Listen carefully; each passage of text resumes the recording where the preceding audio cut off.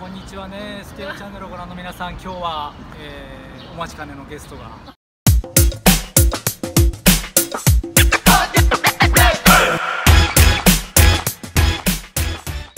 えーいやお待ちかねでございますよ。本当にねあの水野さんに引き続き、えー今日いらっしゃっていただいたのが庄司邦子さんということでね。い。やありがとうございます。あのいやこちらこそ。ね本当今僕のこの SKO チャンネルをねあの誰？ああっちのちびっ子がねお今ねちンと呼んだんですけど、はい。あのフェイスブックとかで30日間シェアをしてくれてるということで応援をね、あの本当にありがとうございます、いえいえこちらこそ。ねすごい支えになってます。ノリですみたいやいやいやもうそれノリが大事だから、本当に。はい。ねえでね今ほらくにちゃんははい。自分でやってるそのはい。活動とかもあって、あ、そうですね。ねこの一応チャンネルは、はい。そのスピリチュアルにノックアウトされない人たちをはい。増やしていこうみたいな、ね。ちょっと分かりづらいかな。そうそうそうそうあのちょっとねスピリチュアル流行ってるけど。と、まあそこにねあんまりこうん。う翻弄されずに。そうそうそうそうそうね翻弄される時期もまあありはありなんだけど、もういい加減気づいていいんじゃないっていう時期の人たちもたくさん出てきてるかなって僕思うんでそうですね。ね、そういう人たちにあのちょっとあのビンタを食らわしてね どういう。でそうそう。あのちょっと気づいてほしいなみたいなはいところもちょっとあるんですけど、ね。そうですね。ご自身でそのやってるメソッドっていうのはどんな感じの？あ、そうですね。私はですねまずまあ全然知らない方はね。うんうんまあ私一応女優一応ってまだ言っちゃったけど女優なんですね去年までニューヨークに行って、はいはいニューヨークでまあブロードウェイミュージカルのオーディションを受けたり、いろんなオーディションそれこそ100回ぐらい受けてまあ最終的にはま100回。あ10本ぐらいかな受かったりしたりとかですね。でその中でまあ私はすごいこう何がなんか自分が一番好きかなと思った時に、まあ、表舞台に立って女優としてわーってやって華やかなスポットライトを浴びるのもいいなと思ったんですけれども、なんか自分が一番好きなのっていうのは演技のいろんなメソッドをやってる時に、はいはい。すごい自分自身を問いかけるというか本当に自分って何者なんだろうとか、もう本当にその過去も現在も未来も全部つながるような経験っていうのを演技を通じて感じて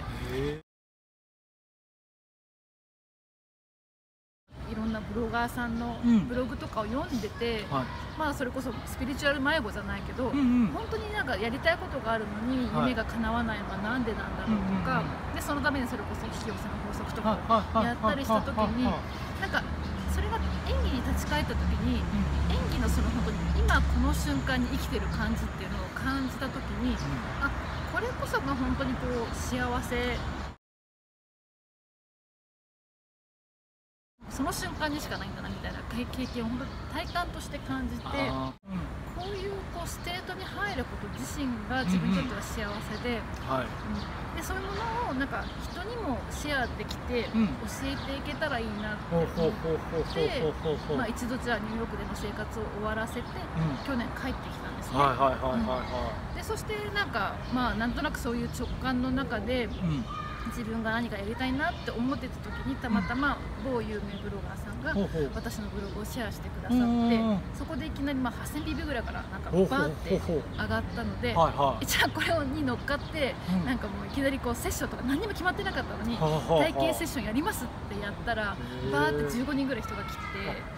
はい、でそれでなんかこうやったらみんなその私のやってるセッションの中で、うん。もうこうボロボロボロボロうん涙を流して、うほうほう自分の本音とか感覚ってうんここにあったんだみたいなそれこそもうヨッシーが言ってるような、うんうん。自分の中にしか答えがないっていうのを体感で感じてくれた。僕そんないいこと言ってます。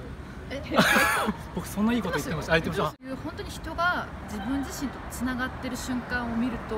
なんか鳥肌ものなんですよね。なんかそれは私はなんか自分らしさイコールカリスマ性っていうふうに言ってるんだけど、はい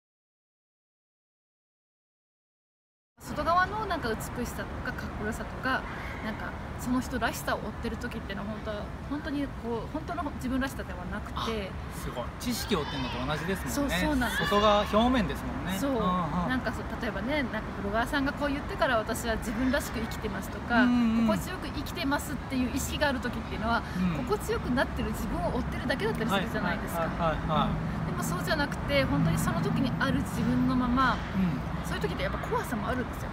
でも怖さの中にただ自分としていた時っていうのは本当に人っていうのは美しくてなんかそういうものを私はこうセッションの中で、まあ、自分がさなんかこうそういう人のまあ本当にその人らしさとこうある意味その人が出会う瞬間ですよね、はいはいはい。それに自分が立ち会えた時にもう本当に鳥肌が立ってあこれは私は生涯の仕事にしていこう。と思って、今は自分のそういう場演技なんだけど演技をこう役者として生きるのではなくてはい。演技をもうなんか自分の人生なのにもう脇役というかエキストラみたいなしてる人たちが自分の人生を本当に主役として生きていくためのメソッドとしてできないかなと。あすごい超いいですね。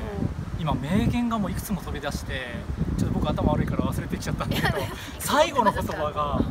そうなんだから自分をちゃんと生きてますかっていうことですよね。だからそのなんですよね。周りに求められてるような誰々っていう役割に甘んじてないかってちゃんと自分の感じてることにこう気づいて自分を表現できてるかっていうことですもんね。そうそうなんですよ。あすごいバカじゃねえの？ちょっと